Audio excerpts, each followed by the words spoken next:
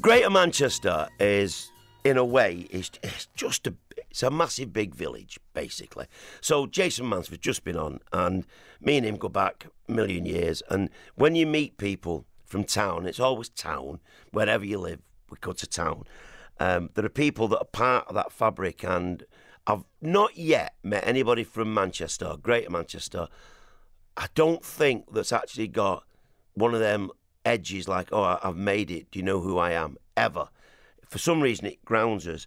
And part of that whole flipping infrastructure, Liz Taylor, uh, Liz has been planning parties, getting celebrities into rooms, making things work. I mean, she's done stuff for Gary Neville.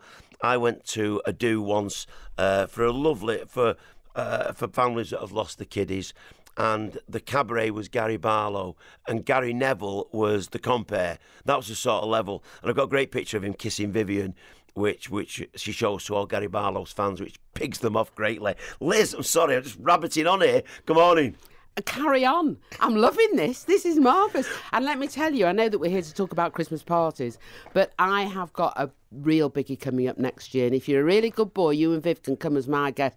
A mega biggie. Thank a mega you. biggie, yeah. But that's for another programme. Okay, that'll be great, and we'll get you in for that.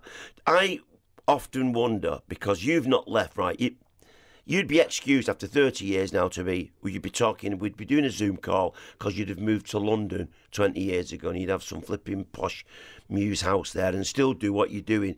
You, you're here. Manchester is what made me, and Manchester is where it all happened. And I love the city. And to be quite honest with you, I'm a big fish in a smaller tank. Why would I want to go to London? I don't need to be in London. I mean, this is where, you know, look back at the Hacienda, and I mean, we're, we're it's a what about you? You had the band. What was your band? Salford Jets. Yeah, Salford Jets, and they still book you. So there you go, and they're still booking me. Anyway, we're not here to talk about me, although I'd like to. Uh, we're here to talk about Christmas. I know, but I just it Go on. amazes me how you put these events together and how you can phone somebody up like Gary Barlow saying, Hiya, Gaza, could you come down and do this? Uh, yeah, all right, no problem, Liz. So that gives you great expertise. I must tell you, I've let you into a little secret that I did Howard Donald's wedding some years back, and we remain great friends.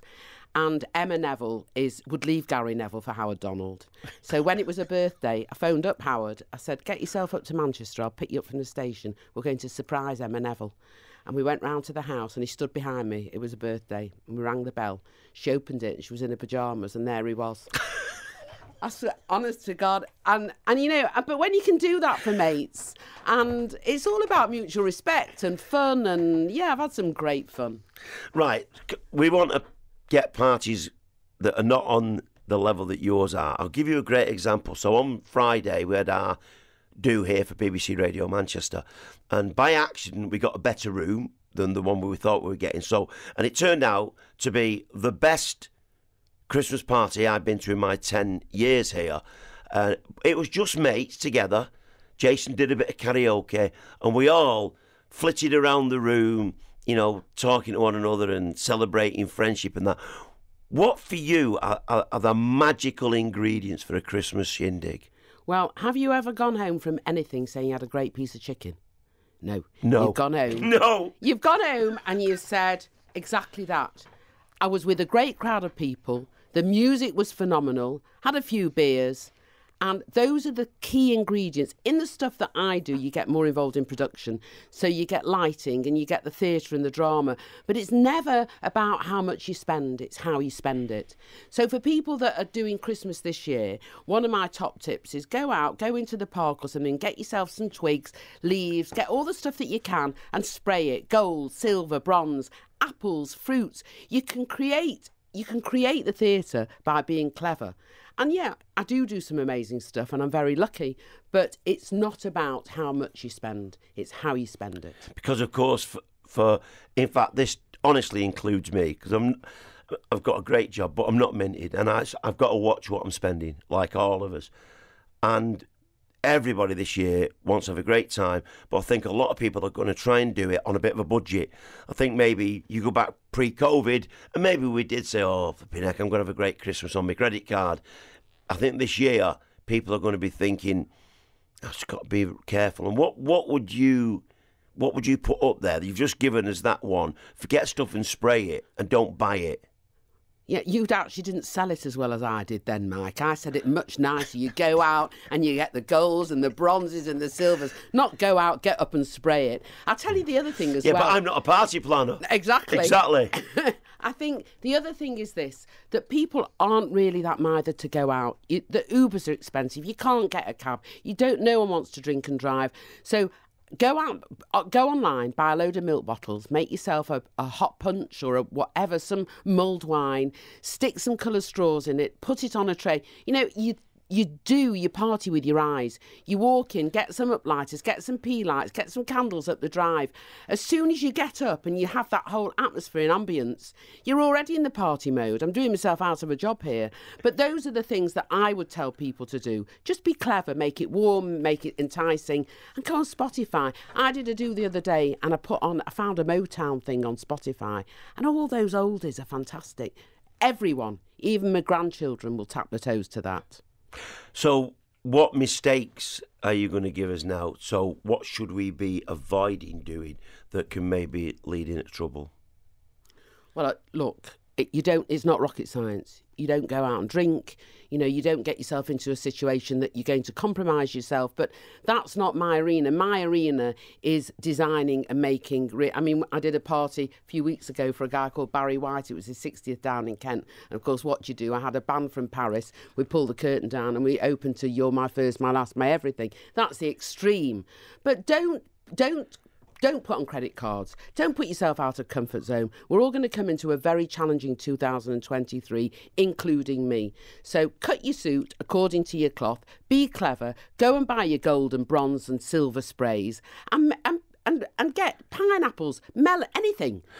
See, on music, I obviously have a bit of a bias because of my age. I'm a kid of the 60s, uh, but I do love music from the 50s, 60s, the 70s, the 80s, and 90s, and there's stuff out now. I played a song earlier by the 1975 on this program that I absolutely love.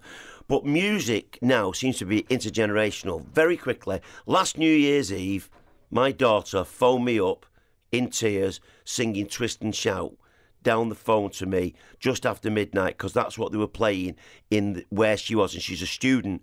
Her sister, Siobhan, who's 10 years older, did exactly the same 10 years ago. So that song, Twist and Shout, being played in a club full of kids, it must be, it must be almost, It's timeless, Mike. yes. I was trying to think- Music is timeless. It's not generational. Anything from bossa to boogie to whatever, it's timeless. As long as you can tap to, tap your toe and sing along, and no one will ever. The Beatles, are, it's all. Even you're timeless, and look how old you are.